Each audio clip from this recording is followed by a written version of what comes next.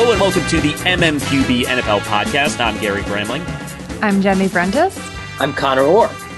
This was week seven, and it was Sunday, and there were a lot of blowouts, and there were a lot of non thrilling games, but there were a lot of very happy stories. And uh, we're going to start with one up top here, and then uh, we'll move on. We'll, we'll, have some stuff on, on the Chiefs and what's wrong with them. We'll have the. Uh, uh the trade chatter around a uh, Texans quarterback, et cetera, et cetera. But let's start with the formerly relegated to the lightning round Cincinnati Bengals who go into Baltimore, and you know we we've praised the Ravens very rightly so uh, over the past couple of weeks, but the Bengals just really got the better of the Ravens in Baltimore here, and even on a day when I, will start with the offensive side of the ball with with Cincinnati here. I mean, this was a day when Joe Burrow was kind of getting beat up. They they came after him, they knocked him around, and uh, they just ended up uh, just just uh, hanging a couple big plays here on the Ravens uh, in the passing game, and, and sort of pulling away here.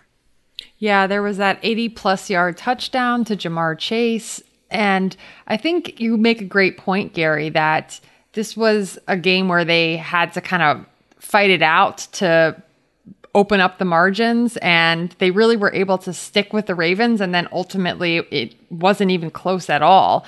I think early in the season it was hard to know what to make of the Bengals even when they were 3 and 1 that included a loss to the Bears, an overtime win. They had a tight game against the lowly Jaguars. So what were they exactly? But then they hang with the Packers, and this win was really a signature win, if you can have those in the NFL. But biggest margin by which the Bengals have ever beaten Baltimore. And Baltimore was coming off a really big win at the Chargers. They were at home. There were a lot of reasons to favor the Ravens here, but the Bengals just totally dominated. Yeah, it was really, I mean, down to the way that CJ Uzomah, I mean, using him as this sort of almost dominant chess piece, that secondary um, receiver that Joe Burrow seems to be finding. Everything about this Bengals team just seems to be firing on all cylinders. Jessie Bates, who going into the season was not arguably, I mean, probably was the best safety in the NFL. After the game, said, "Oh well, you can't ignore us anymore," whatever that was, or you know, you guys better start taking us seriously now. I think as a player, you're you, you have to say that before the season. You're not allowed to say that when you're five and two. Like you actually have to call that because my guess is a lot of you guys were probably uncertain, like everybody else. Like Ja'Marr Chase was dropping a lot of balls in camp, and everyone was like, eh, I don't know how this is going to go. But good for them. And it's weird because this past off season there was so much like hidden optimism from like Bengal adjacent people, like being like, yeah, I think Zac Taylor's got the right pieces here. Like, I think this is actually going to work. And it was so hard to take that even remotely seriously. I mean, I was such a big pro uh, Penei Sewell guy. I thought that the the pick of Chase was just going to be ridiculous, but they've like vanquished all these narratives uh, pretty tidily. And then to hang a forty burger on Baltimore is uh, is no small work. I mean, some people were talking about Zac Taylor being one and done after his first year with the Bengals when his number one overall pick quarterback tore his ACL. So people were pretty low on the Bengals, except for the insiders that Conor is talking to, who obviously knew what they were talking about. And I think it's been surprising to see how quickly all the pieces have come together. You know, with Chase, a rookie receiver doesn't often contribute this quickly that early. And I think we see why they didn't pick an offensive lineman. Obviously, they saw Chase as a can't miss prospect and they went with him and we're immediately seeing results from that decision. It must be phenomenally difficult. And I give their scouting department a lot of credit. I mean, they have picked some really good receivers. They found it's been largely that same group of people, and the Bengals notoriously have a very small, insular scouting department. And I mean, over the course of like 15 years, to come away with X number of pretty darn good wide receivers, I mean, kudos to them. But it must be really difficult in college right now to A, have identified Ja'Marr Chase as the number one in that group, and B, to understand that what he does is so much better when like a lot of these SEC schools are just pounding on you know opponents you know smaller opponents and feasting on them and so it's hard to gauge the talent like I, it must have been really hard to to understand why Ja'Marr Chase was different or that much worth the number one their number one pick if if what I'm saying makes any sense. Yeah, and I think of course Joe Burrow can give a recommendation and he knows what it's like on, he's like on a day-to-day basis, but then you also have to say, well, is he just stumping for his former teammate? It's it's difficult to separate that out. So even a glowing recommendation might not mean that much, but evidently they were able to parse out all of the things that Chase does really well and why he could immediately contribute, which again is not easy for a rookie receiver to do. It's becoming a little bit easier lately uh, with the way offenses have changed, but it's still not an easy feat. I still think it was a touch of uh, pleasing your quarterback, making sure he's taken Maybe. care of before you go down there the that Aaron Rodgers uh, road at some point. But uh, yeah, I mean, look, it the fact that Joe Burrow has returned and really played at a franchise quarterback level is, I mean, that's that's the most encouraging thing you could possibly have for a team. Your young quarterback blossoming, uh, especially after getting his uh, his knee shredded the previous year. But what they're doing defensively, and uh, look, I think Jessie Bates is right to an extent. I think part of it is because you had those years of Bengals defenses under Marvin Lewis where it was it was kind of a lot of big names, and, and obviously it was it was also a lot of guys who sort of had uh, I don't know that uh, they were people you noticed.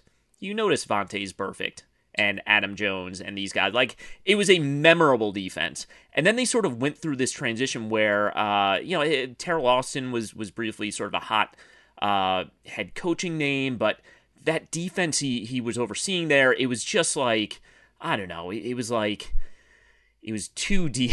it was too way deep. It, it kind of it had all the same issues that like Paul Guenther had with the Raiders. Like it was just playing safeties, like you know, with your heels on the goal line and just no pass rush and just letting teams carve you up. So Lou Anarumo has gotten in there, and you know what he's done with that unit has just been exceptional. They are not they're not overly talented. I, I don't think you'd be um, you know blown away by by sort of the the athleticism, the talent level they have, but uh, the secondary has suddenly become really good. Uh, you know, they have a guy in uh, Larry Ogunjobi remains a favorite of mine. Uh, I thought he was a nice find, and he has been absolutely just tremendous this season.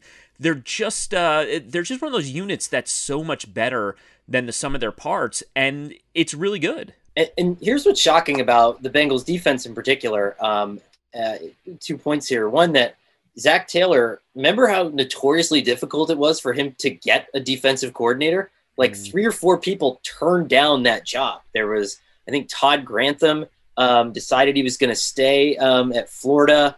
Um, Dom Capers uh, said that he didn't want the job, which, like, if Dom Capers is turning down the job, like at some point that starts to get scary. But it's this weird year where you know, these defensive coordinators that, and I think you could say the same thing a little bit about Phil Snow in Carolina, where it was this decidedly unsexy choice and everyone was just kind of wondering, you know, what was going to happen. And they turned out to be really kind of innovative in, in big spots. And this was just a complete um, middle finger to Conor game because not only did the defense play well and Ja'Marr Chase played well, but Trey Hendrickson, who was another person that I lampooned that signing in the offseason, and he played really well and was actually really great specifically against Lamar Jackson and was one of the few guys that I've actually seen with sort of the backfield agility to be able to get him down. I thought he was a product of that Saints defensive line, but um, you know, this is a uh, this is an fu Conor kind of season so far, you know, and the Bengals are just riding, you know. Chiefs Titans. So big win for the Titans here. Uh, coming off the Monday night win over Buffalo, they get the win over the Chiefs here, and, and they're just it's it's really wreaking havoc with people who can't let go of the transitive property because now the Jets are better than both the Bills and the Chiefs since the Jets beat the Titans. But uh, we're and I apologize, Titans fans. We're we're sort of moving past your team's tremendous success. Uh, it's been a really good run here, and uh, it looks like they are going to control the AFC South. But uh, let's talk about the Chiefs and what we think is wrong with the Chiefs.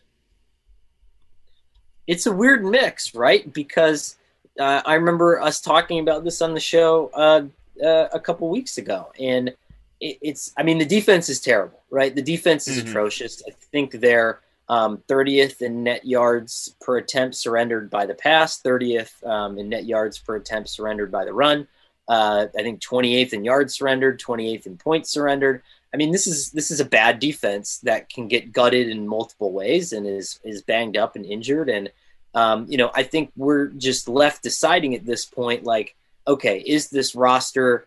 Does it just fall victim to the kind of thing that just that, that tends to happen to good Super Bowl teams, where you sort of get fat and happy and you think you can survive on your star power a little bit and then you just you get a little bit of trouble replenishing some of the key and critical positions? I don't know but um, you know even the offensive line which a lot of people want to say is this or that i mean is good in spots. You know i think they have two or three good starters right now which is more than a lot of the league um, can can say and so i don't know it's just a strange situation they're not running the ball well um, teams are kind of figuring out I made this analogy, Jenny, um, to the 2010 Jets and the New England Patriots, but you know everyone got that idea for slowing down the Patriots by like doubling Rob Gronkowski, which was a big thing for a while. And while they're not jamming Tyreek Hill off the line, there is that realization that he is sort of the straw that stirs the drink in a similar way. And I think that teams are more aggressive in their uh, efforts to double team him or get you know have two guys on him at all times. So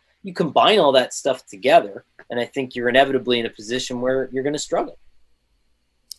I still haven't moved off of the offensive line points. And I think, you know, you're right, Conor. It's surprising that with the pieces that they have, they're not playing at a higher level, especially with the head coach having been an offensive line position coach. But it doesn't seem like Mahomes is entirely comfortable. And one of the common threads between the Super Bowl and so far this season is just Mahomes like scrambling and dancing around and trying to make something happen. And you can't rely on that. Uh, you know, he'd done it so many times that it made it look easy and that it could feel like, or it could be for a time, an essential part of their offense. But when those you know desperation plays aren't working then you get into a tough spot. And you know, I don't know if there's a lack of sync, you know, synchrony between Mahomes and the line, or if he's still feeling like he has to scramble around and try to make these desperation plays because he doesn't have much time to do anything else. I mean, one of the plays that stood out to me was the Bud Dupree speed rush right past Orlando Brown. And uh, I believe Mahomes lost the ball in that play, but the Chiefs recovered it. And like those are the kind of examples that make it hard for the Chiefs offense to gain a lot of traction. There was that interception last week too. Um, was it last week, right? Where there was that awful kind of like skyhook pop up throwaway, right? That was intercepted. Yeah, off the fumbled snap. Yeah. Yeah, and that was last week too. And what's interesting with Mahomes is um, I think there are some there. There's a valid point that I've heard on him in that in that there there's so many gifts, right? There's so many physical gifts that he has that I think that there are situations where he uses them when perhaps they're not necessary. To your point, Jenny, where you're sort of floating and scrambling and maybe the play was just to get rid of it after you know your your heel hit the turf on that third step. And you know maybe there does need to be some Andy Reid West Coast you know drilling at some point. And but it's hard right? If you're rewarded by that for so long how do you how do you kind of hone that in and and develop as a passer? And all great ones do but at what point is is Patrick Mahomes going to have to do that yeah, I think that's an interesting point. I remember talking to his throwing coaches, and they mentioned that the idea that he can throw the ball out of the stadium literally can actually sometimes be a negative because then you just rely on the physical gifts and drift a little bit from the technique. So that was a focus of theirs. I mean, this was leading up to the first Super Bowl. Um, and, you know, I think when he got injured that year, it actually kind of forced him to hone those mechanics a little bit more because he had the knee injury. And so he couldn't use that same physical ability. He couldn't generate the same power. And that was actually good for his technique. So maybe there's a, maybe a technical fix. Maybe he needs some time to work on. I don't know. I, I can't analyze his throwing motion on the fly. Someone's just got to, I don't know, take a baseball bat and just smash his knee in and then uh, see what happens That's not what we're suggesting, Gary. Mm. No, it's uh to me uh, it's it's defensively that's just going to be an issue. I mean, they I don't know what answers you find at this point in the season because you brought in so many new guys who are talented with the thinking that okay, we'll we'll get him coached up, we'll get it going and it obviously hasn't happened, but uh offensively the the biggest issue does continue to be the turnovers. I mean, this this game, look, this game was ugly. I think you throw it away in the same way you throw away like the Packers opener against the Saints.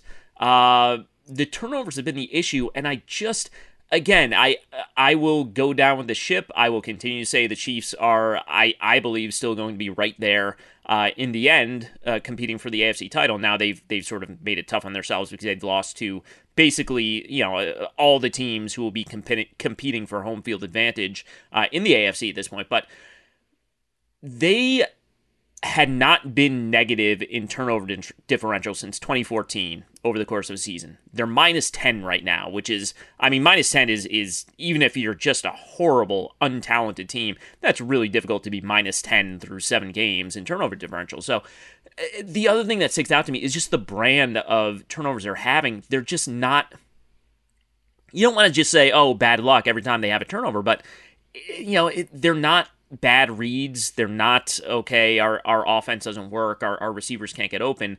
I mean, their turnovers today was uh, you know it, a bit of a forced throw. Tyree coming back to the ball. Uh, defensive back deflects it. It gets intercepted. Mahomes gets chased down. Uh, Kevin Byard, great punch out, but like those are not the types of turnovers that you would say like, boy, they're really prone to those. Uh, they just they happen. They happen to everyone every once in a while. They're just happening happening to come in bunches right now for the Chiefs. And I think it just it really just does fix so much going forward if those go away. And, you know, you would expect the offensive line will play better. Tyreek Hill seems to be playing through some sort of injury here that uh, has him at a little less than 100%, which I guess also, you know, is factoring into all of this. But I don't think there's, there's I, I don't know. I, I just, I still, I don't see it. Maybe it's just me. I just don't see this falling off a cliff right now for the Chiefs. I think it's much more likely to uh, uh, to, to to correct itself for the next couple of weeks here. Our uh, esteemed writer Chris Ballard wrote a piece for Sports Illustrated this week about what happens when old people get old and try to still play sports. Um, I don't know if anybody else read that, but I don't I don't know why it reminded me of there's a play in this game on Sunday, and I'm not talking, calling Travis Kelce old. I'm just saying that but like he caught the ball and just like instinctively just like whipped it to the side of him and like to side to back lateral pass like in traffic. And i just felt like like this was an example of like the chiefs maybe getting too old to play some pickup basketball. Like it was a successful play but mm-hmm. th- this has been their mindset for so long that they can out athleticism anybody and do thing finesse everybody and at some point, that's not going to be true, right? At some point, you're not going to have the full Tyreek Hill. At some point, Travis Kelce is going to stop being able to do literally everything for your offense. And you're going to have to figure some stuff out. And I feel like we we're not there yet, but I feel like we're coming to the point where you will soon have to figure some stuff out. You're seeing a preview of what it will be like when we do get there. You don't have any trouble playing pickup hoops, though, Gary. Uh, I haven't played since the pandemic. Uh, okay. My last my last game, uh, we won uh, we we won our league title. Uh, it was just an incredible ride, but uh, yeah, I don't know. I will say that I did see some criticism of the Chiefs' pick of Clyde Edwards-Helaire as like a luxury pick, running back in the first round. And while I don't think Edwards-Helaire's production has been what the Chiefs wanted, I actually think the pick was supposed to sort of be the counter punch that if teams are playing a lot of yep. cover two and taking away your passing options downfield, uh, and a lot of your routes, etc., then you can run the football, and those are easier fronts or easier coverages, excuse me, to run into. And so I, the point about the run game not working this season. And obviously, Edwards-Helaire got injured, and there's been a lot of reasons why the run game isn't working. But I do think that was supposed to be the counter punch. And then if you're able to run the ball well, then teams change the coverages, they work off each other, blah, blah, blah, blah, blah. It's uh it's a real shame for the Chiefs because they have the late bye this year. And uh, I don't know. This feels like it would be a nice time for them to get a week off and sort of figure some things out. They don't have a bye until week 12, along with the Yeah. Cardinals, who the Cardinals are probably happy to. Uh, Cardinals probably want to go out and play tomorrow. But uh, True. Well, they play Thursday, which is about the same thing. they go. and I bet they wish they had the Texans again. Colts 49ers. All right, so I don't know if there's a whole lot to be drawn as far as conclusions off of this game, which was played in A, among A, under A, bomb cyclone. Who knows whether? In a, in a sounds correct. Okay, we'll go with that. In a bomb cyclone. So that meant lots of rain, uh, lots of sloppy football. We had seven fumbles total. Four of those fumbles were lost. Uh, two Jimmy Garoppolo interceptions toward the end of the game, and uh, in the end, a, a 30 to 18 Colts victory. That I don't know. I mean, it's good for them for going on the road and and getting one here, even if it was kind of a uh, I don't know crapshoot of a game. just an odd, like gross sort of, you know, unappetizing game. I think, uh, you know, Sunday Night Football, we've gotten like back to back sort of just uh, yucky burnt dinners here, but that's okay. You know, uh, you need a couple of those, uh, uh, but you know, it makes the good games seem good. But uh, big win for the Colts, um, and just uh, I don't know what's going on with the 49ers. Like, you know, we can't keep saying every year that, oh, they're injured and that's the problem. Like, you know, at some point, that can't be an excuse anymore, right? They're certainly rolling up the penalty yards here. Uh, but other than that, just I don't know. I I, I think uh, well, I know Conor and I were in the same boat. Maybe Jenny was a little bit smarter than us, but we were kind of we were waiting for Trey Lance to come in and you know basically do something similar to what they had with Garoppolo, but now add this 11th man to the run game, and it would just be completely unstoppable. Uh, no, I mean Trey Lance didn't play tonight. That's part of the problem. But uh, no, this offense is just uh, it's it's good. It's okay. I I don't know. It's it's yeah, it's just mediocre all around. Yeah, Conor, you make a good point. It seems like every year we're talking about the 49ers being injured. I think one of those reasons is that Garoppolo has often been injured and also George Kittle has been injured. He was out tonight with a calf injury. But we were sort of waiting for Trey Lance to take this team to a new level and to be the answer to some of the frustrations that they've had on offense for the last year plus.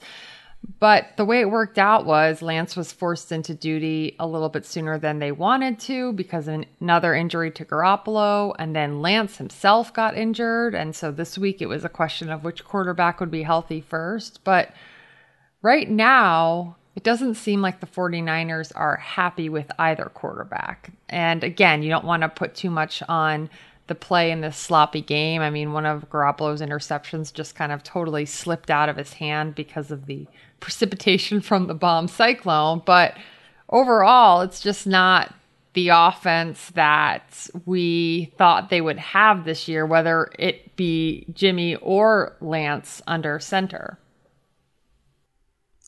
This is getting away from them. Another season.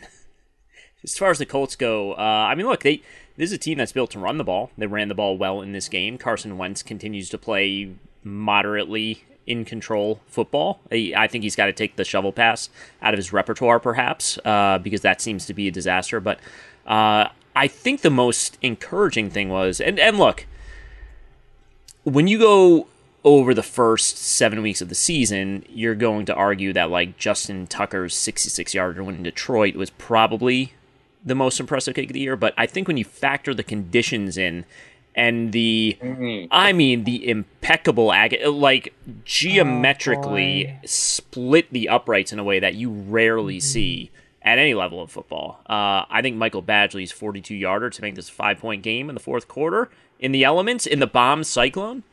I don't know. That's it's a bit of an X factor right there, if you ask me. Impressive that you managed to sneak that in. Um, I, you know what you do? You just move on, right? You, you don't acknowledge it. You just keep going. Um, but I uh, mean, it, It was a good kick, Conor. We got to give Badgley and Gary kick. that. It was a good yeah. Kick. It was a fine yeah. kick. Um, I do enjoy though that Wentz is sort of now that Derek Carr has elevated into like good quarter, like solid good quarterback territory. Wentz is like occupying that territory of like, oh, how's that guy doing? You know, but like, oh, not, and then you look it up and you say, oh, not bad. Like that's Carson Wentz now, and so he's occupied that territory. Very happy for him. Um, you know, some really physical runs uh, today. It seems like he's he's as reckless as he's being, I mean, at some points, you know, this is kind of, you know, a game where he can succeed, especially as crappy as the field conditions were. And so I don't know. I mean, you know, he can always kind of bite you in the downspout of that roller coaster, but today it all seemed to work out. It does. I get the sense watching him that it's, uh, boy, the feel is still not quite there. He's a little bit like, you know, some of these screen passes that he's letting loose, it's kind of like, okay, that wasn't there at all. That should have been intercepted. Intercepted. You shouldn't have thrown that, and you should have realized you shouldn't have thrown that, but he's kind of like robotically going through it sometimes. Uh, but maybe that's, I mean, look, that's part of sort of rebuilding him at this point. And, you know, overall, the the results have been good. 150 yards passing night, but uh, he also, you know, they picked up 90 something yards of pass interference penalties. I mean, this is this is capable quarterback play at this point. Yeah, I was a little surprised the broadcast was gushing about Wentz and saying that he was playing as well as he had in Philadelphia, which one season was an MVP level. I don't think we've seen that from him. I think the biggest difference, honestly, um, from their slow start, other than the Colts turning to a diet of beef, as Conor Orr predicted, has really been Jonathan Taylor has been dominant. I mean, this was his third 100 yard game in the last four games, and they've had success when he's been successful on the ground. Falcons Dolphins. So there we go. The Atlanta Falcons stringing a couple wins together. They're still competitive. They're uh, they're proud professionals, and uh, they go out to Miami and uh, and get another victory here. But the story in this one is the Dolphins because of the quarterback situation and what might happen next. And we're kind of lumping these two uh, these next two kind of uh, kind of okay games. I'll say very nicely together, but uh, uh, we'll start in Miami, where uh, it's look, it's it's an offense. They have an identity. it's it's it's you know they can run anything from an RPO to a run pass option in uh, in this offense, and and to in in Tua in Tua Tagovailoa's defense, uh, you did see a couple of you know, late in the down, scramble type plays that did look like, you know, Conor, I, I, I know you remember this game well. The the Arizona game last year it was like, oh, okay, well, here we go. This is the number five pick of the draft. And then it just hasn't been anything like that since. You got some flashes of that. You also had just two really horrific interceptions. And ultimately, it's just, it, it's like, it's, it's, it, it's, uh, it's long handoffs. I mean, this this should not be a turnover prone offense when you are uh, just constantly throwing the ball within you know seven yards of the line of scrimmage. But that's that's kind of the mix you're getting here, which is what the problem is. It is phenomenal to me how much how quickly the NFL figured out how to cover run pass options. By the way, like I remember in 2018 when the Eagles won the Super Bowl everyone was like, this is the play that's going to ruin football. It's going to destroy everything forever, and no one's going to be able to have any fun anymore, play defense. And now, like, you're looking at Tua, and it's almost like if you're the Dolphins, why couldn't you figure out a way to use that short to mid range accuracy in a better way, right? In a different way? Because these RPOs now have such a razor thin margin of success. And, you know, I was just watching a couple minutes ago, a couple of these throws that he made against the Falcons defense, which were phenomenal, but like only gained like four yards because it's a very well covered run pass option. It's like all this effort in order to just get, you know, um, a quarterback comfortable in a certain situation. But to your point, I thought there was some nice stuff on the run for him, but he is just, uh, just the the vacillations here. I think are just too wild, and I just don't know what you want to do moving forward with Miami. But I still think, like, I, I still think he's a win win with guy. Like I think you can at least make something happen there. Um, I, you know, I, I don't know what it is exactly, but I, I think if you reimagined it a little bit, maybe Although after three offensive coordinators, who knows? Maybe there's enough reimagining going on here. Yeah, you know, I have to say I've been a little low on Tua, but I think he has shown some improvements between last week and this week. I agree with you, Conor. There were some throws that made me think, some plays that made me think, okay, maybe this could work. But there's a lot of things that are not going well around him. The Dolphins' issues are certainly beyond just Tua, and maybe there is a better way to scheme it up or better play on the offensive line or whatever the case may be. I don't think he's the main cause for their failures. Jenny dunked on my Tua take last week, and I, I did. Very, I've come around a little bit, you know. Very, I'm very nervous in general about like still espousing a lukewarm Tua take this week because I, I just felt Jenny like gearing up for like the. Grr. No, no, I I, uh, I like what you're saying, Conor. I, I think you're right. There you go. look, I, I think it's totally fair. I, I, he again, I, it sounds like an insult when I say it. It's really not intended to be. But you know, Andy Dalton was a guy who was a quality starting quarterback when he was surrounded. I know, I know, right? Andy Dalton was a guy who was a quality starting quarterback when he was surrounded by really good talent if eh, I mean that's kind of the issue with Tua. You're going to have to surround him with really good talent, but you can get a, a quality starting quarterback out of him. The issue is going to be, you know, you can't you can't put him behind this offensive line and and expect it to go at this point. And obviously that limits your roster building ability. I feel like I just insulted. I, I insulted Andy Dalton. I insulted Tua. Mm-hmm, I angered mm-hmm. uh, Dolphins fans and Andy Dalton's fan club, and I, he really was. He was a a fine starting quarterback. And honestly, I look. We're going to talk about this in a little bit, but if you are looking forward I feel like we we over the last two years like reached a point where there were so many good quarterbacks coming into the league. There were so many great options, and that's what makes this sort of especially frustrating for the Dolphins and and people who watch them. But uh, maybe that's drying up a little bit. It's not a great draft class coming up. It's not one of those draft classes where you say like, ooh, four or five first round picks. It probably looks like one, maybe two right now. Uh, Malik Willis out of out of Liberty, and and who knows what else might pop up down the line, but we might be back in that spot where, you know, three or four years ago when you said, well, Kirk Cousins, yeah, I'd, I'd love to have Kirk Cousins. And, and I think that might be something that ultimately pleases people. And maybe, maybe, did, did, would that make people feel better if I said Tua, maybe like a little bit of Kirk Cousins here? I don't think he's as good as Kirk Cousins, though. I mean, one thing I'm going to say too, and Conor, you know, another point for Conor, but it must be hard to develop and grow and blossom in the situation that Tua is in, where every week he's being asked about trade rumors. And I know that's not necessarily in the organization's control, but it certainly is a little bit. And I get the idea that maybe if you're not sold on a guy after one year, like the Cardinals and Rosen, and they draft Kyler, and things are looking good for the Cardinals right now. But I mean, if you say he's your guy for now, I mean, they didn't use that word, but uh, you know, the, the wording is always very careful that, you know, Tua is our quarterback. It's present tense. And I just don't think that's especially conducive for a quarterback getting better and feeling like the organization wants him to grow. I think we've all been in situations where you don't feel like the current environment brings out your best self. And I would say that certainly has to be the case for Tua right now.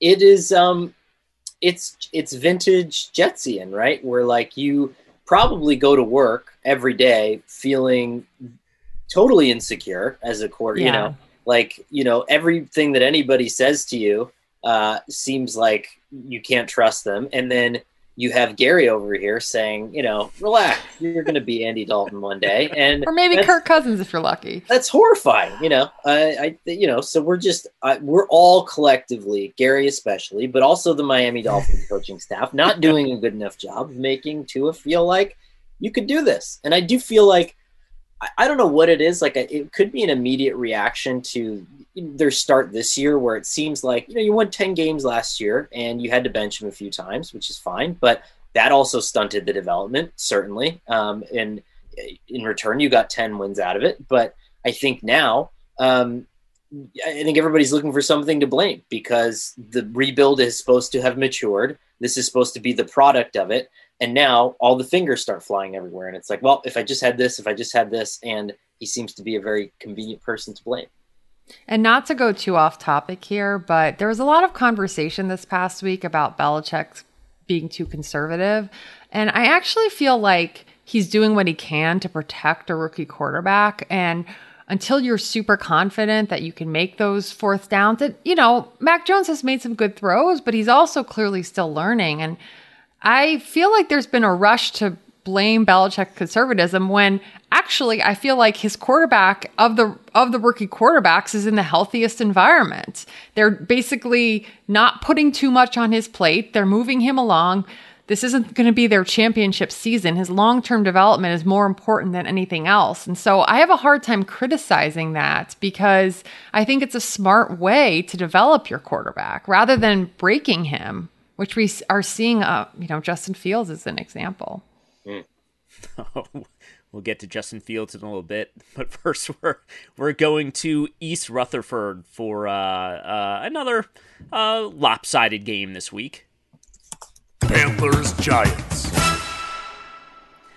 So yeah, this one uh, started kind of slow. It had a fun five to three halftime score, and I know that thrilled everyone. But uh, the Giants end up pulling away in this one, ends up being a, a twenty-eight to three, uh, excuse me, twenty-five to three, even weirder score victory. But uh, uh, look at the the focus, you know, kind of shifts. Uh, besides Daniel Jones's tremendous one-handed catch, the focus kind of shifts to what the Panthers do at quarterback now. After boy, a, a, another just rough week under center for this team and an owner who has just uh, messaged in every conceivable way uh, I want a franchise quarterback here.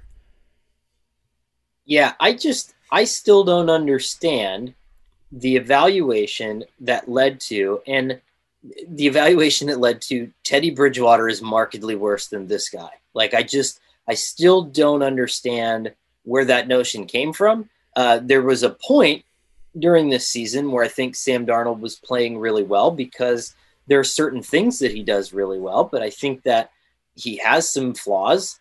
And I think that once those get realized in a different offense, I remember he started pretty well with the Jets. There was, I mean, his first NFL pass was that pick six in that game against the Lions, but then everyone remembers they scored 49 points, I think, in that game. He had like a long touchdown to Robbie Anderson. He came out of that game looking like a franchise quarterback. And I think as the season went on. I think people kind of picked apart those those flaws and those things that he does not do well. And same thing happened in Carolina. You can't, you know, you can't out scheme that. I think Joe Brady is a great offensive coordinator. Adam Gase, people want to make fun of him, was a great offensive coordinator at various points in his career. And so I think that I don't know what you do at this point. I mean, you benched him. You said he's still your quarterback, but you have to figure something out. Yeah, I mean, we saw the early optimism with the Panthers wane in parallel to the early optimism with Darnold. And the Giants game was a great example of some of his old flaws surfacing with, you know, not smart decision making. He had the intentional grounding in the end zone that led to a safety.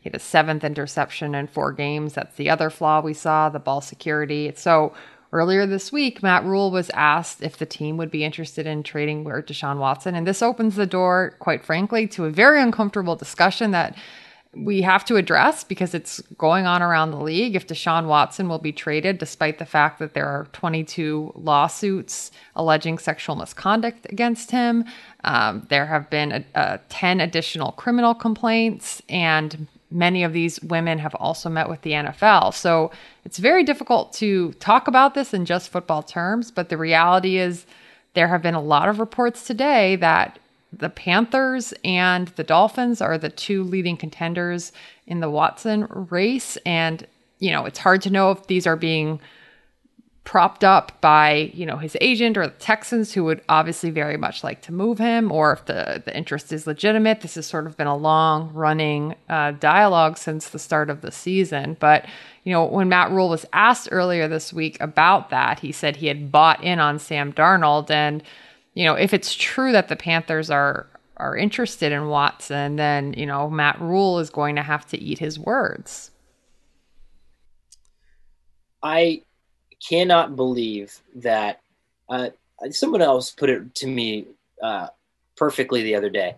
If you trade for him at this point, having not come to any sort of legal conclusion, um, and you know, you are forfeiting the right to ever use like the term like leader of men for a quarterback ever again because if the com- you know if the 10 cr- criminal complaints if the 22 testimonies which you know and if, if this stuff bears out in the court of law and everything seems remarkably similar and consistent like how does that play? And how do you convince anybody that this is anything other than a nakedly desperate attempt to fix a team that you broke in some other way? And i, I don't understand anything about it I, I think that the verbal gymnastics that you would have to complete in order to legitimize this publicly would ruin an owner. I think it would ruin a coach. I think it would ruin a GM, and I think it's a just a dumb thing to do. So I don't know. I think if two teams are gearing up to do something really stupid, good for them. You know. It's two teams pitted against each other in just the, the dumbest game of chicken here. Uh, and and look, the the reason you'd make a move is you're afraid the other guy's going to make a move before before he can, and then you know, oh, what if it happens? Uh, and look, uh, we don't have to go too deep into uh, the Deshaun Watson situation. I mean, we have uh, Jenny has, uh, I mean, what twenty thousand words on it on the internet, and pretty much the entire thing still holds up. There's been no new developments. I mean, these are, and, and I want to reiterate this again because people think we constantly just um, are are grabbing out of the you know uh, basically the, the public filings. I mean, we've indep- we've independently vetted the things that we've written about Deshaun Watson and his mistreatment of women. And uh, you know, there can be a debate as to exactly where this falls as you know, as far as legality goes, it is a fel- is it a felony uh, in Texas? Uh, you know that that is kind of a gray area at this point. But he has mistreated women. I mean, that's that's the bottom line, and he has not really shown uh, any willingness to really say anything about it, let alone take responsibility for the actions he has done. I think there's a path to redemption for everyone. I think that includes Deshaun Watson. I think he'll play in the NFL again, but right now uh, the way he and his team are approaching this, and uh, they they're they're not going to relent. This is not going to be something where he he takes accountability this week and we start to move on. Uh, it's just something you absolutely cannot justify touching as an NFL team. So. I don't know. You just shrug your shoulders and and just you know kind of uh, trust that this is a lot of smoke and there's nothing in the center of it, but it people do stupid things. I guess that's the I guess that's the moral of the story. And in the end, there are basically one guy at the top of each of these teams, and if he wants it badly enough, they mm-hmm. might go mm-hmm. ahead and do it. And I think we should also just quickly take the opportunity to clear up a talking point. The NFL Network reported this morning that if a team traded for Watson, that he could probably play immediately because the league would likely not place him on the commissioner exempt list because these are not violent crimes. Um, I think, first of all, the, the, description or use of a violent crime, um, I think we should be a little bit more broad in how we apply it. And speaking with some of these women, they did speak about it as a psychologically violent crime because of the toll that it took on them mentally. But beyond that, that's not the only criteria. You don't have to be indicted to be placed on the commissioner exempt list, which is the form of paid leave the NFL has. It gives the commissioner broad authority to do so. And one of the criteria is if he believes that a person may have violated the personal conduct policy. And while in the past, the exempt list has not been used when there's only been civil lawsuits, this is a very unusual case because there are 22 civil lawsuits. 10 women have gone to the police. The NFL has personally spoken with at least 10 of them. I believe the number may be higher now. Also, in our own reporting, we've been able to get information that corroborates the women's accounts. Obviously, it's very unlikely that you would ever have incontrovertible evidence of a sexual uh, alleg- or sexual, excuse me, allegation of sexual misconduct, but we have messages women have sent after or to Watson himself. Um, and you know, I think also we should look at and consider the past case of Antonio Brown, who, when there was a civil lawsuit filed against him by a former trainer alleging rape, he was not immediately placed on the exempt list. But later that season, after that woman met with the NFL and also an artist who Sports Illustrated wrote about, um, and she alleged misconduct against him and then he then threatened her via text message she also met with the nfl and later that season it was leaked to several prominent media outlets including nfl network that if brown were signed he would be placed on the exempt list so i don't think there is a good precedent the idea that if they put watson on the exempt list that it would somehow break precedent doesn't really apply here because this case is unlike any other. But I do think the Brown case, that history certainly would apply here. Now, Brown wasn't placed on the exempt list because he wasn't signed that season, but it really sends a message if 22 women, actually more than that, right? Because, you know, there have been other women who have come forward, and I believe the tally is about 26 right now. If they share their accounts of sexual misconduct mm, that closely mirror each other, right? The NFL doesn't put them on the exempt list. And by signaling to teams through their report this morning that they wouldn't put him on the exempt list, then that ultimately clears the way for a trade when all of these allegations are pending. So I think it's pretty problematic all around if you consider it under that uh, lens as well. Bears Buccaneers. All right, so the Bucs beat the Bears 38 to 3. I know that from looking at the scoreboard. Uh, and I also kind of know from looking at the scoreboard the Bears still just uh, they they aren't even really showing signs of life offensively, which is uh, boy, it's it's just becoming a fairly frequent issue at this point.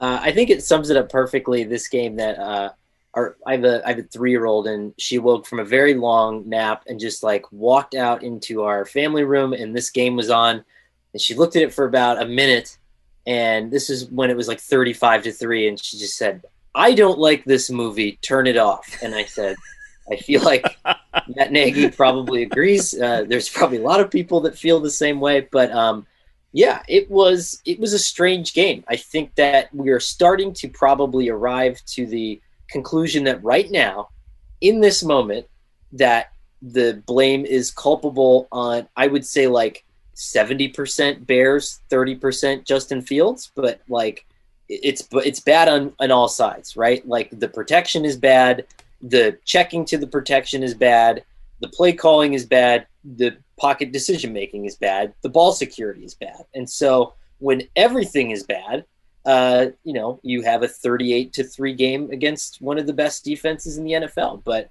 I thought it was. I, I, I don't know why I've started watching Matt Nagy press conferences out of fascination. Um, I enjoy his Philadelphia accent, and uh, and so I watch it for that mostly. But he seems like a person that is just out of ways to try to explain this uh, to anybody. And Justin Fields too was saying, "Hey, you know, after the game, there were some blitzes that didn't get picked up that needed to get picked up, which I thought was an interesting move uh, for a rookie quarterback. And uh, so everything seems to be going really great uh, for the Bears.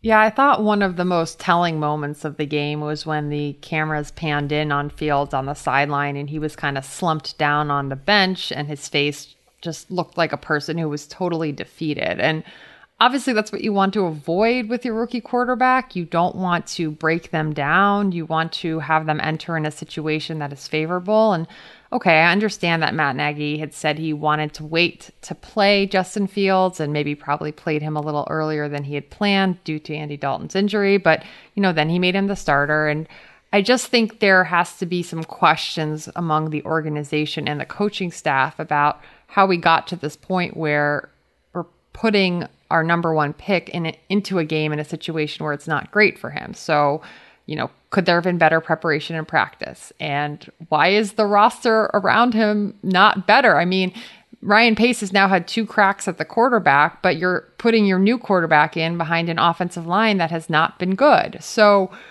I just don't think it's a great look for the Bears organization all around. And, you know, while I remember well, Conor, the body language fines that were once instituted for Mark Sanchez when he was a young Jets quarterback, um, you know, you could kind of understand Fields' frustration. And, you know, obviously he just had his fifth turnover of the game, which not great, um, and was just kind of looked like a guy who didn't want to be there. But, you know, there was a lot of reasons where you could understand why maybe he wouldn't want to be in Chicago right now.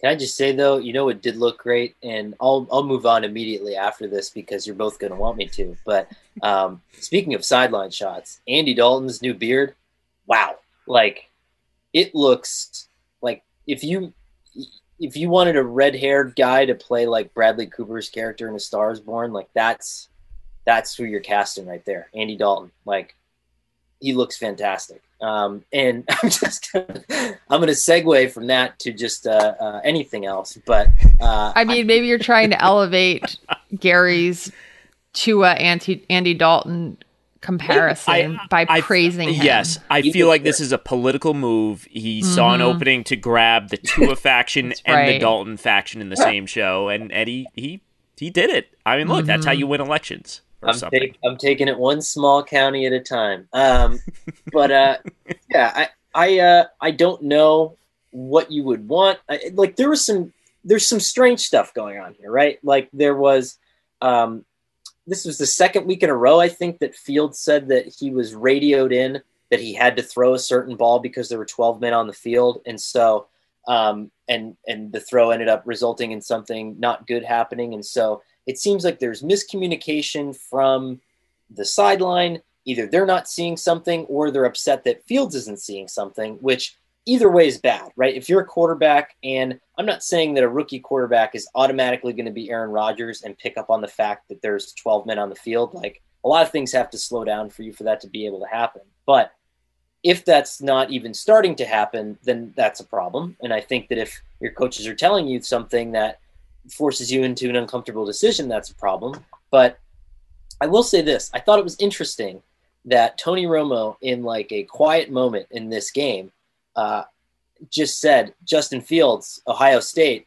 used to be able to just sit back there and throw it to whoever you want, and then like just moved up, like let let the dead air like carry him to the next point.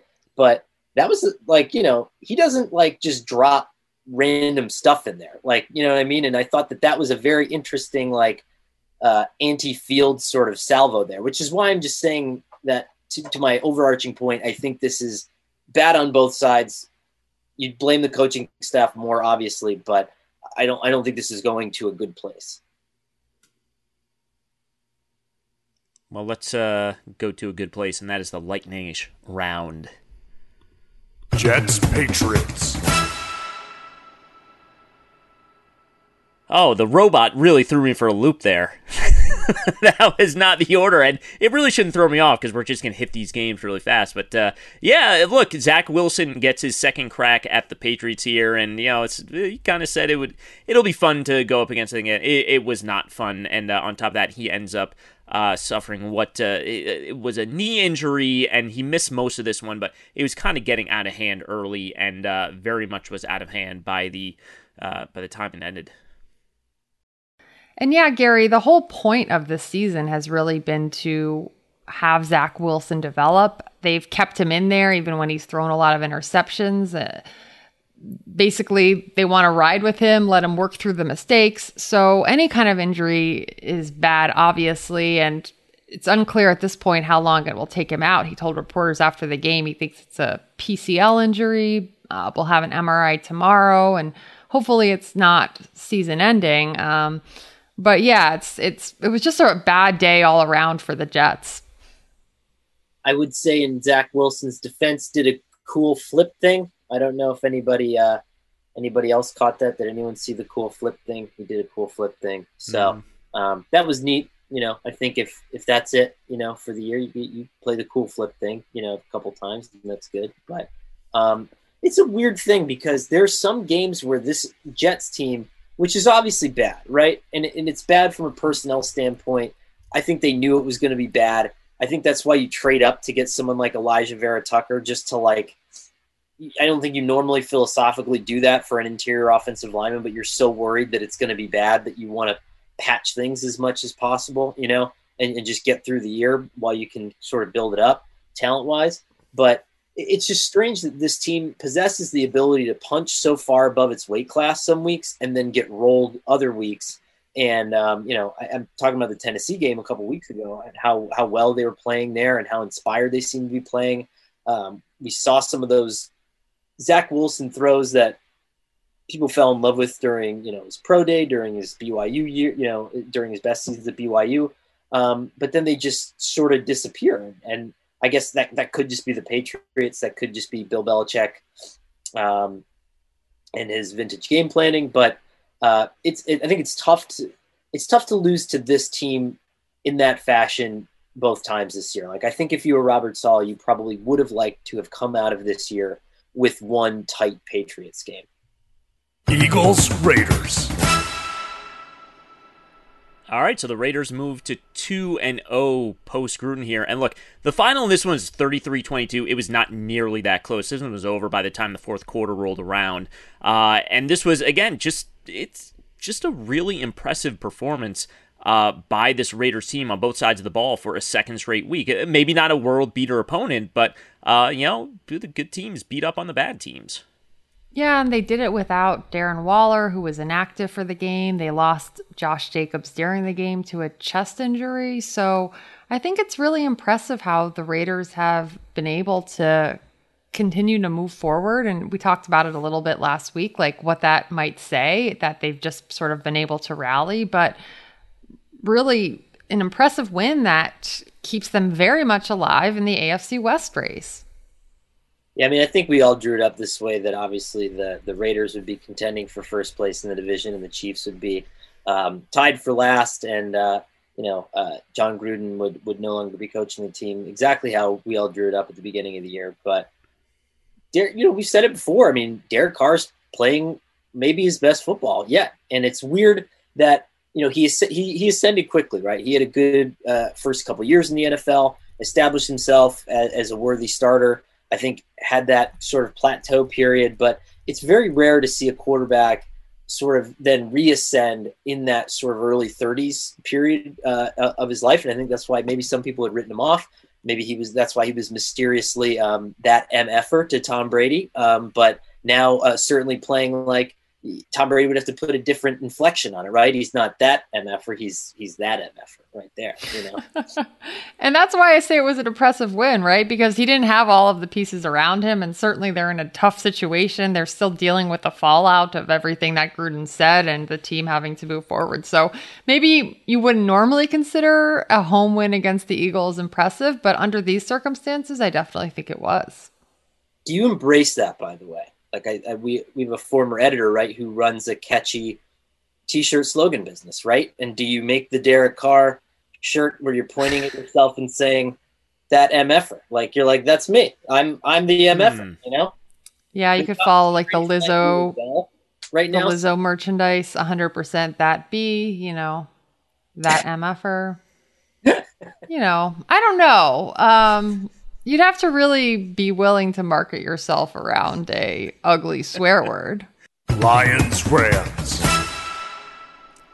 Yeah, I don't know. This is still just not right that the Lions are winless. Uh, they go out to Los Angeles, and this was this was close. I mean, they, they, they definitely. I'm not going to say they were better than the Rams. I mean, they were clearly the inferior team. But you know, they get two successful fake punts, two successful fake punts in one game, and uh, and they still end up going down in this one. Jared Goff had a couple nice moments, but also threw just a, a backbreaking red zone interception on uh, on sort of their last chance drive, but they're they're hanging in. They're competitive. This is an NFL team. And a successful onside kick. I mean, I liked the mentality that Dan Campbell went in with, that he was just going to empty the bag of tricks. I mean, he knows he's working with a roster that is inferior to every roster in the league except maybe the Texans. I'm not sure yeah. which one you would rank for last place in the league, but the Lions roster is pretty bad. So he knows that in order to try to generate a win, he's got to try a lot of things. So the fact that they hung in with the Rams, who have one of the best rosters in the league. And like you said, Gary, the backbreaking interception for Goff, it, it wasn't really over until that happened. Um, but I like Campbell's style. Um, I think that they could be good in the future, but they're just not going to be good with this roster right now. Here's how confident Dan Campbell has his Lions players, which is incredible in a game against like the best team in the league. D'Andre Swift scores that on that super long screen pass to go up early in the game, and he's doing this. He's shushing everybody in the stands, and I was like, "You guys are about to lose by like four touchdowns." And I love just the pure attitude oozing out of this team. They're just like, uh, I didn't think that. Like when I first heard the knee but kneecap biting thing, right? Like I think I was like everybody else, and I was like, mm-hmm. "This is like a borderline turd thing to say, right? And this is going to be a turd team."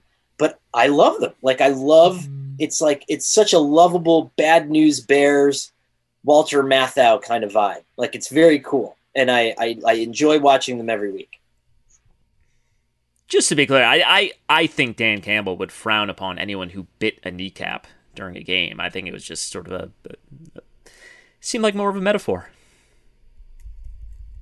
Washington Packers. All right, so the Packers go to Washington. Uh, they end up winning this one 24 to 10. I this game pretty much unfolded uh, as expected here. I, I I mean, look, I will say, you know, Washington did not implode defensively which is something we've seen them do repeatedly this year. Uh, that's know, seems like a positive. I thought the front four early in the game, I was going to write a little note in the freak out that the front four had responded to bulletin board material from Gary Gramling and they were, you know, keeping the Packers, or excuse me, keeping Washington in the game. They were they had a pass deflection, they had some sacks, some good pressures, and I was like, all right, they're they're playing okay. But you know, here's what I want to discuss is how it somehow escaped me that the Packers had not stopped any team in the red zone entering this game. That they had let their opponents score on every red zone possession. And then in this game, they stopped Washington on all four of their red zone possessions. So whatever adjustments were made seemed to be working fascinating law of averages right there. we Gary are, Gramling oh loves oh the law of average. We are not adding another hour to this show as we have one game to go. But uh, yes, that's a, it's a very volatile stat, and people don't understand that. When I tell people like, "Ooh, like oh, they're already like." You know, first in offensive red zone efficiency and second in defensive red zone efficiency. That can't, yeah, that's going to regress. That's like, no, it just means they're great you know, like all these, I have a bunch of fans of one team because I pointed out they've recovered 80% of their fumbles this year. And, uh, all, uh, you know, I'm like, well, that's not sustainable. Everyone should hover around 50%. It's just a matter of where does the ball bounce and who happens to fall on it. That's not a skill. And like all these people, oh, no, it's because they want it more. They give 110%, not like those other guys. Oh, I am going to add another hour to the show. Conor, add it to the list. We're also a pro law of averages podcast. Mm-hmm. Pro law of averages. Got the it. small sample size stats, they all regress. People need to realize that. This is not like, there's no like Alabama versus, uh, I, I don't know, what's a bad school? UConn. Prairie View A&M. Yeah.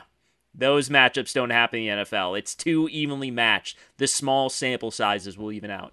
Okay, I get that. And I could tell that you were grimacing when I brought up the red zone point, so now I understand no, why, and I should have no, anticipated no, this. But it is it is remarkable. They didn't even have a single stop. Like it's not like they just had a bad percentage. It Their opponents were you, yeah. It tells you they're going to be better defensively as the year goes on. That's a great okay. stat. It okay. just doesn't mean what people would think it would mean. It doesn't okay. mean they're they're bad at defense in the red zone. It means they're means they got nowhere to go but but up.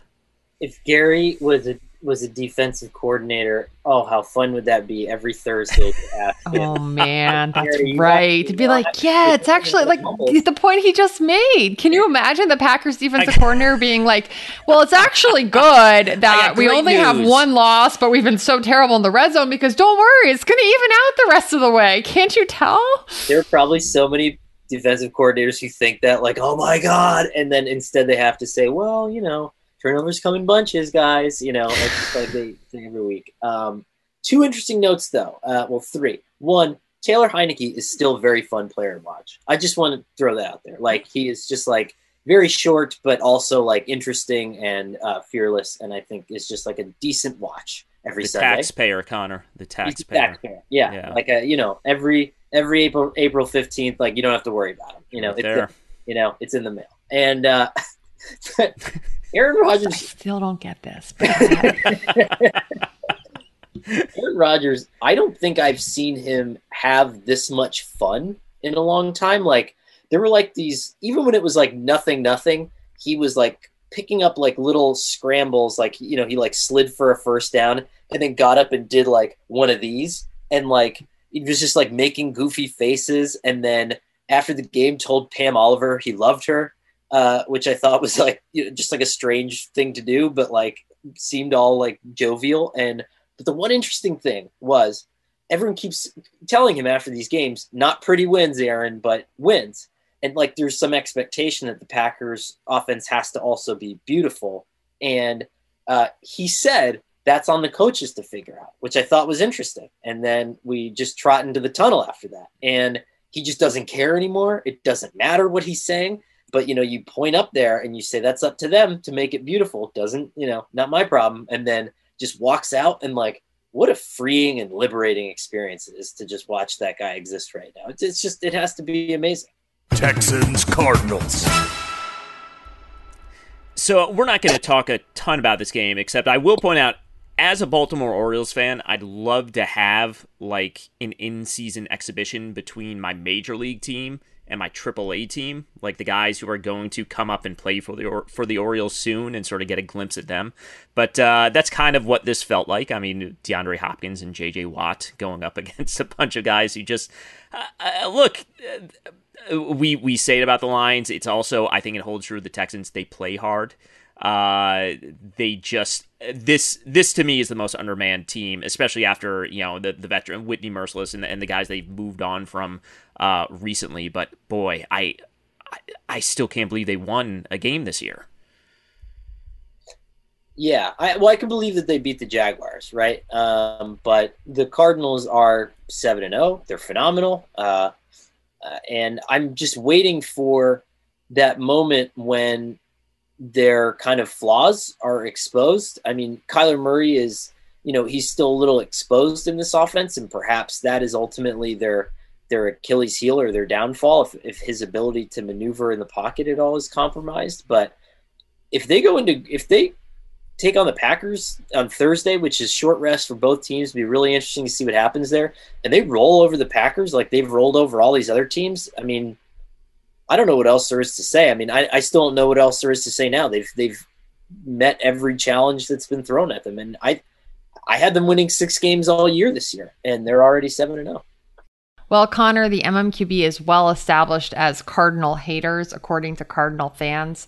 I do think the stat that Gary Gramling shared in his football things on Sunday morning was very instructive that at this time last year, there were three undefeated teams the Steelers, the Titans, and the Seahawks, and they combined for zero postseason wins, which probably plays into a little bit of our pause since we saw this last season. But this Thursday's game, short rest, which always adds another dimension of things. Uh, I'm really interested to see the Cardinals face the Packers, and I think this will tell us a lot about them. They already beat the Rams, and now they have the Packers. The NFC is clearly the stronger conference this year. Um, so if they can beat the Rams and the Packers, you know, two of the conference's biggest contenders, then that will really say a lot about uh, who they are this season. Can I throw? I, I want to throw out three mind blowing stats. Uh, two of them probably not very mind blowing, but I've already built it that way, so we'll, we'll stick with it. Uh, specific to the Cardinals, not just the undefeated thing, but uh, the two things that sort of jumped out to me that was like, you know, you just sort of go, huh. Again, these are small sample size stats. They they have now recovered 20 of the 25 fumbles in their games. That's that's a possession per game that uh, that they're gaining through fumble recovery skill. Maybe they just want it more. Maybe maybe I had it all wrong uh, all along. Uh, the the second one they are now five for five on fourth down this year. Uh, again, that's you know, small sample size. Most teams don't go perfect over the course of the season. The other thing I wanted to bring up though, because I would I would argue uh, I don't know if we'll stay at this pace. I, I don't think anyone can keep up this pace. But if Kyler Murray played ten more games at this level, I think we're talking about literally uh, in the conversation of the greatest single seasons of all time. Uh, and I was looking at some of his splits because he's a guy who, over his first two seasons, really struggled intermediate, deep intermediate throws. He was toward the bottom of the league. I think he was actually dead last uh, in in air yards, ten to twenty his uh, his rookie year. But uh, right now, on throws of fifteen plus yards, he is completing. I should say, coming into this game, he was completing sixty seven percent. Uh, Drew Brees last season in a much smaller sample size because one, he was injured, two, he doesn't throw downfield that often. He is the only one who has ever in a single season completed more than 60%. So right now, what Kyler Murray is doing as a downfield thrower is not only much better than what it was his first two seasons, it is historically blowing away every quarterback in the history of the NFL. So again, uh, does does that keep up? Is that you know is it like the Rondale Moore factor is is changing how defenses play them? Is it AJ Green? Uh, again, AJ Green, who was uh, Conor, you've talked about this. He was the worst starting receiver in football by a wide margin last year, and now he's he's pretty good. He was like seven for eight on downfield targets uh, as a pass catcher this year. So those are the things that make me kind of go, huh is this ultimately sustainable? And the other thing that makes me kind of say, huh, is uh, I, I think Adam Archuleta was doing color in this in this game, and there was a play where you know, it was a red zone play, completely broken play. Kyler rolls left and then he spins back and runs back, you know, 15 yards and circles all the way around and like weaves through a couple defenders and it ends up being like a six yard gain or something like that on a first and, uh, goal. And Adam Archuleta is just like Cliff Kingsbury really pushing all the right buttons here. It's like, yeah, that was that was Cliff, huh? yeah, quarterback doesn't get any credit for that one on the broken play. But uh, yeah, that's kind of it. Kyler Murray is having a run right now that is better than I think any quarterback I've ever seen. And I would go so far as saying I think it's as good as any quarterback has ever had in the NFL. So basically, what you're saying is the 2021 Cardinals are a true test of the law of averages. It is. And if they defeat the law of averages, I don't know what I'm going to do. I know what I'm rooting for. The MMQB NFL podcast is Jenny Vrentas, Conor Orr, and me, Gary Gramling. We are produced by Shelby Royston. SI's executive producer of podcast is Scott Brody. Thanks as always to senior podcast producer Dan Bloom for the best notes in the business. Mark Mravic is emeritus editor of the MMQB, and Andy Benoit is the founder of the MMQB NFL podcast. Be sure to subscribe to this feed on NFL Podcasts, and once you do, please leave a rating and review because it really does help other people find the show, which is also available on Spotify, Stitcher, SI.com, and wherever else you listen to podcasts.